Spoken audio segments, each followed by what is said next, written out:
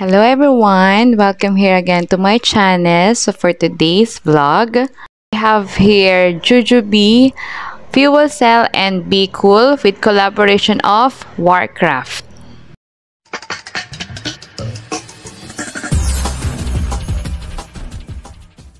So dahil sa nahuhumaling ako ngayon sa diaper bags and meron na akong two kids, kailangan ko nitong um, fuel cell and be cool. Kasi insulated bag tong mga to. So, ito munang be cool. Ganito yung feature niya. Structured siya na bag. And meron siyang one side pocket. And this one is fuel cell. Ayan. Hindi siya structured.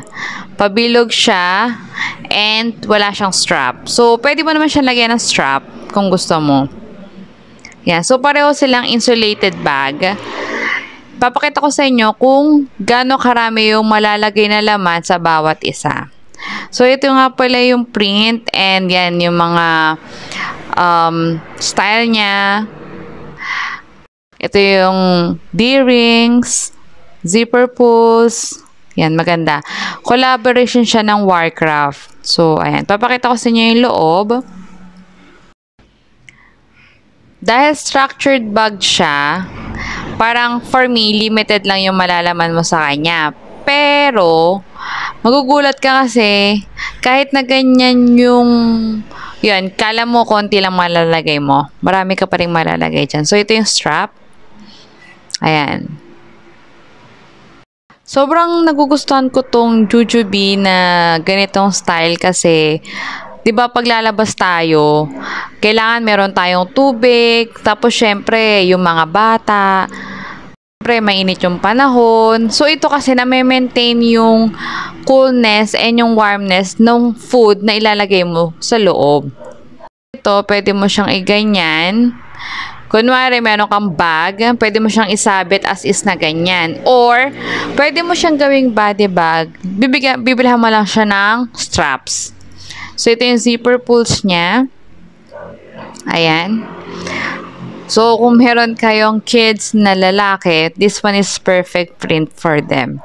Ito yung loob. Actually, itong fuel cell, masyado siyang spacious dahil hindi siya structured bag. Marami kang pwedeng malagay sa loob. Pwede mo siyang i-maximize. And, dito nga pala, if you're breastfeeding mommy, pwede mong ilagay dito yung breast milk na naipon mo. Then, dito sa, zip, sa zipper, pwede dyan yung mga paraphernalia mo like storage bag, pen, ganyan. Yun nga lang, pag naglagay ka dito ng breast milk, kailangan meron kang ice pack para mas lalong ma-maintain yung temperature na kailangan. So, ngayon, papakita ko sa inyo um, as diaper bag siya. So, ito, sa fuel cell muna tayo. So, lagi naman ako naka-cloth diaper lang para kay baby. So, ito, dalawa lang siya. Ayan. And, syempre, pag may diaper, kailangan merong wipes.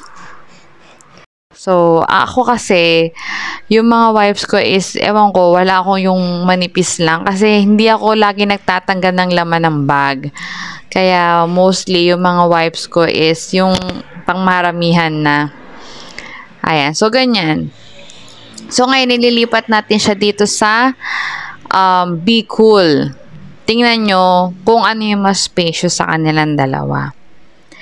Pero, according sa experience, mas nagtatagal yung um, temperature ng snacks sa fuel cell kesa doon sa Bicol. Pero when it comes to style as body bag, pareho silang stylish. Ito nga lang kasi si Bicol may strap. Yan. Pero carry lang. Ito kasing si fuel cell, pwede mo siyang isakbit sa mismong bag Ayan, tingnan nyo. Masyado siyang bulky. Pero, kasya pa rin. Yun nga lang, pero syempre, di ba, pag kunwari, nagpabag tayo, ayaw naman din natin ng parang mukhang punong-puno talaga yung bag. Pero, kayan, kasya pa rin siya.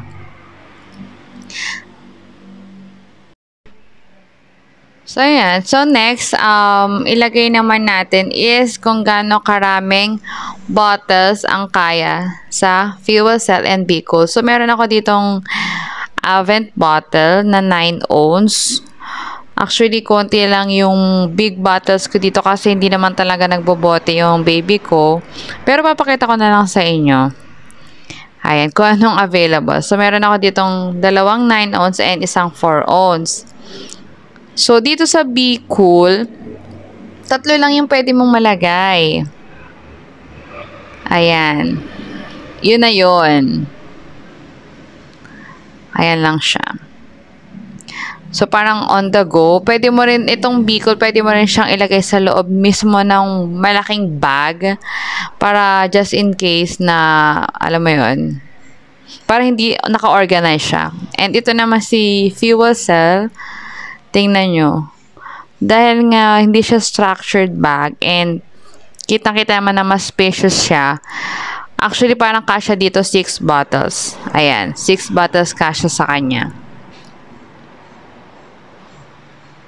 Ayun. So, dito, ipopost ko na lang yung information para makita nyo. So, ito si Bicol. Merong one main zipper pocket sa front niya. Meron siyang adjustable, detachable messenger strap.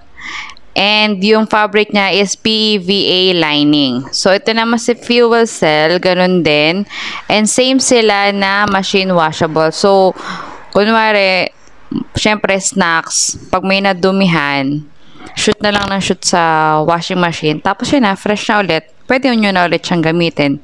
Hindi ka na manghihinayang or mahihirapan na magtanggal ng stain. Lagi siyang malinis mong mapapagamit sa mga anak mo. So yun lang. Thank you for watching. And please do subscribe our channel. Thank you.